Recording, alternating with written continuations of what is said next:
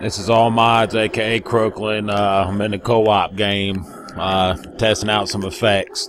Um, off the wall just sent me the files for the uh, electricity to only show up when you're Super Saiyan 2.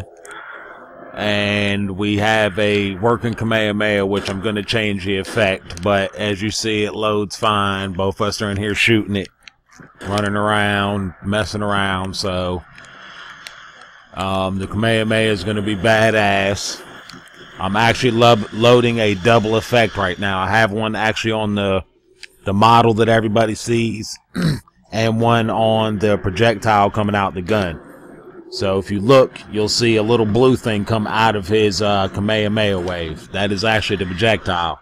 So um, what I'm planning on doing is when you become Super Saiyan 2, you'll get the Kamehameha attack, but before then, you'll just have the color projectile, which you just seen go flying out the all weird there.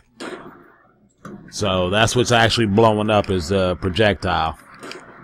But that uh, beam does take plenty of uh, life from the zombies without the explosion. And it will hurt me. Actually, probably kill me now because of the gun I'm loaded on. But uh, I could load guns, but I'm not in my lobby. I'm in someone else's. But uh, Kamehameha works. All the effects work. Uh, the spirit bomb's gonna be loaded pretty nice, and that's that's the view you're of someone else doing it. Um, he decided to help me out, so. But like I said, uh, off the wall did the stuff for the effects on me show up on the uh, player. I mean the Super Saiyan 2 Goku. A little bit easier than the way I was gonna do it, but it works just fine. So that's gonna be this this uh, mod's gonna be pretty damn cool. So just be looking forward to it. Uh, the Spirit Bomb, I'm actually gonna have it where it actually builds the particles up little bits at a time, and the ball grows bigger and everything. I already, I'm actually using uh, stuff directly out the game for that because I actually had something that does that in here on its own. So um, that's gonna be pretty cool.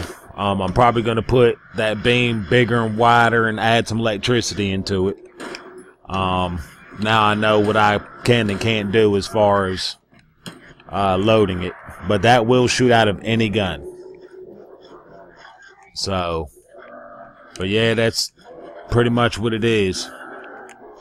But uh, as you see, I was in the co-op game.